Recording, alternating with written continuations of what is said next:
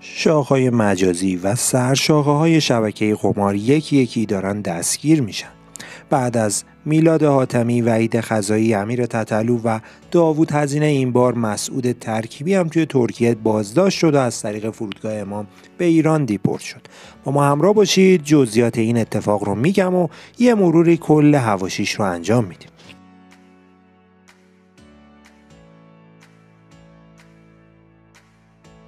سلام سلام چطوری رفقا؟ به کانال خودتون کانال مین TV خیلی خیلی خوش اومدید. امیدوارم حالا احوالتون خوب باشه و اوضاع به کام باشه. خب بعد از داوود هزینه که روز گذشته بازداشت شد امروز خبر دستگیری مسعود ترکیبی هم توی رسانه ها منتشر شد. انگار برای مسعود ترکیبی یه مقدارم عجله داشتن و سریع بازداشتش کردن و به ایران هم دیپورت شد. رئیس پلیس بین المللی فراجا از دستگیری و استرداد فردی ملقب به مسعود ترکیبی به اتهام کلاهبرداری و پولشویی و فساد خبر داد.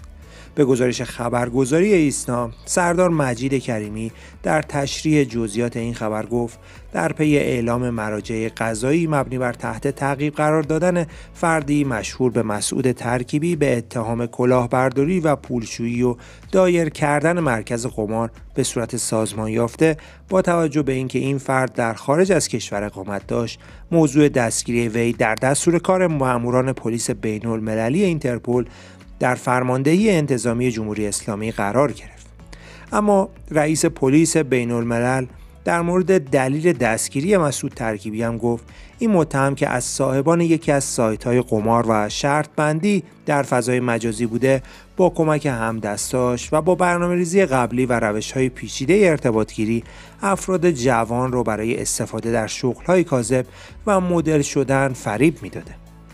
وی با اشاره به همکاری متهم در ایجاد و مشارکت در مسیرهای امن پولشویی افسود این متهم یکی از سرپلهای قاچاق انسان هم بوده که از هویت قربانیان خود برای نیل به اهداف کلاهبرداری و پولشویی استفاده می‌کرده.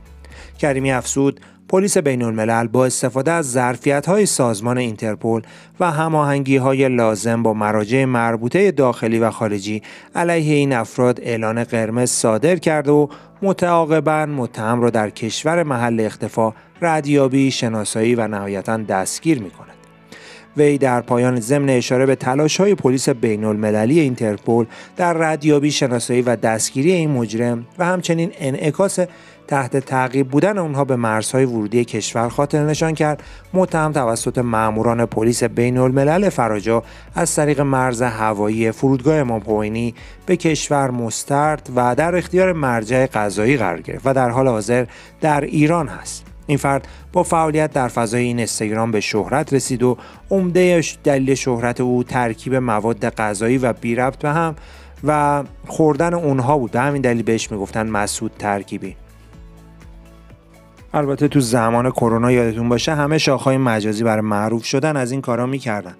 از این طریق خیلی هم موفق بودن. نمونه دیگرش هم بهادر وحشی بود که چیزای بی ربط به هم و قاطی می‌کرد و با میکسر مخلوط می‌کرد و می‌خورد و میگفتش که من ترکیبی پررو می‌زنم. اما کلا مسعود ترکیبی کی هست؟ مسعود ترکیبی یکی از شاخهای این استگرامیه که فعالیتش رو از حدود 6 سال پیش شروع کرده. اون قبلا توی ایران بود و برای رسیدن به آزادی بیشتر و راحت منتشر کردن کلیپ ها و ویدیوهاش به ترکیه مهاجرت کرد. اون در ترکیب کردن چیزهای عجیب مثل نوشابه و شراب یا نوشابه و سس یا مواد خوراکی با نوشابه و خوردن اونها شهرت داره. واسه همین لقب مسعود ترکیبی یا امو مسعود رو به اون لقب دادن. اون با استفاده از همین شهرت تونست فالوورها و مخاطبای زیادی رو جذب بکنه و به شهرت و درآمد زیادی برسه. اون با دختران زیادی توی رابطه بود که معروفترین اونها دایانا دادمهر مدیر سایت شرط بندی لاوبت بود که به علت ترنس بودنش تونست به بیشتر معروف شدن مسعود هم کمک بکنه. مسعود ترکیبی اسم اصلیش محمد کازم تاش معروف به مسعود ترکیبی است که در 18 فروردین ماه سال 72 در یکی از شهرهای شمال ایران در نزدیکی تونکابون به دنیا آمد. اون تحصیلاتش رو فقط تا سیک یعنی دوره راهنمایی ادامه داد و نوجوانی خیلی سختی رو داشت. چون مجبور بودش از همون سنین کم کار بکنه و تو جاهای مختلف کارگری بکنه مثل آب میوه فروشی مثل رستوران. و اون در آبان ماه سال 97 بعد از اینکه پدرش از دنیا رفت به قدری ناراحت بود که توی فضای این استگرام مدتی نبودش. برخلاف شاخهای این استگرامی مسعود ترکیبی همیشه عکسهایی از دوران کارگریش و توی سنین کمش منتشر می‌کنه و یه جورایی می‌خواد به فالووراش بگه که از شرایط سختی به اینجا رسیده. مسعود ترکیبی برای کلیپ هایی که توی اینستاگرام منتشر می‌کنه تیکه کلام های معروفی هم داره. یکی از تیکه کلام های اون سلام با مرام بودش که معمولا کلیپاشو با این تیکه کلام شروع می‌کرد. به طور کلی این جمله تیکه کلام دوست دخترها و همچنین فالوورهای اون هم شده. اون با دوست دختر قبلی خودش یعنی دیانا کارش رو در این استگرام شروع کرد و تو این استگرام با عکس ها و ویدیوهایی که از همدیگه منتشر می‌کردن به بالا رفتن تعداد follower های همدیگه هم کمک می‌کردن. یه زمانی شایعه شده بودش که مسعود ترکیبی پسر علی لاریجانی رئیس سابق مجلس هست. و واسه همین هم است که کسی کاری به کارش نداره و خیلی آزادانه داره هر کاری توی ترکیه دوست داره انجام میده و سایت های bet و قمار می‌زنه. ولی خب این شایعه خیلی سریع تکذیب شد و حتی مسعود ترکیبی توی یکی از live هاش با شنیدن این خبر خندش گرفت و گفت چقدر ذهن آدم ها خلاق است که این خبرها رو می‌سازن. البته بعیدم نیست که کلا این شایعات کار خودش بوده که بخواد هواشیش رو بیشتر هم بکنه. مسعود ترکیبی برای اینکه بتونه همیشه هواشیش رو مدیریت بکنه و همیشه خودش رو ترند و بالا نگه داره هر چند وقت یه بار دوست دخترهاش عوض می‌کرد. بعد از دایانا اون با زیزی یا همون زهرا که یکی از دوست دختراش بود وارد رابطه شد و از نظر دنبال کننده ها این شخص در این اینستاگرام با حالترین دوست دختر مسعود ترکیبی بود. اونها در حال حاضر از یکدیگه جدا شدن و با همدیگه نیستن.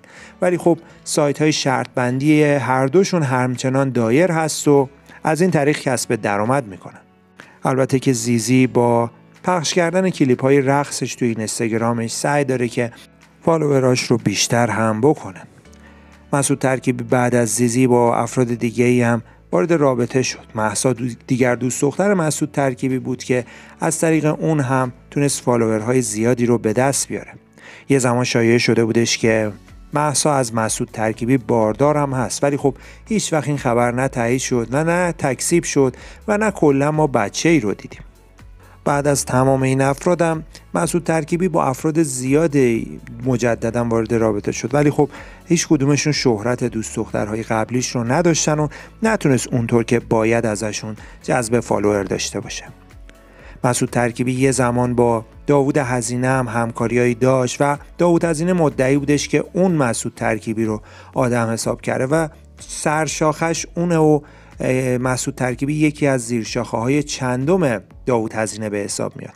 البته چندین بار با هم دیگه دعواهایی رو هم داشتن که خیلیاش سوری بوده و برای follower بوده.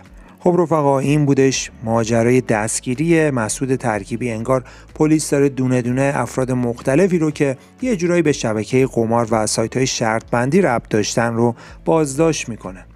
دو سال پیش بودش که میلاد حاتمی بازداشت شد و به ایران دیپورت شد و توی اولین بازجوییش اسم افراد مختلف از جمله همین داوود هزینه و مسعود ترکیبی و امیر تتلو رو آورده بود و گفته بود که اینها از سرشاخه های شبکه قمار هستند. و حالا می‌بینیم که بعد از حدود دو سال پلیس داره دونه دونه این افراد رو بازداشت و به ایران منتقل می‌کنه. نظر شما چیه دوستان؟ به نظرتون نفر بعدی کیه و این روند آیا قرار ادامه داشته باشه؟ حتما نظراتتون رو بر ما تو بخش کامنت ها بنویسید. یک دنیا هم سپاس برای like این ویدیو و subscribe کانال. امیدوارم همیشه شاد و سلامت و پیروز باشید. تا ویدیوی بعدی خدا نگهدارتون. پیشنهاد می‌کنم در ادامه هم یکی از این ویدیوها رو تماشا کنید.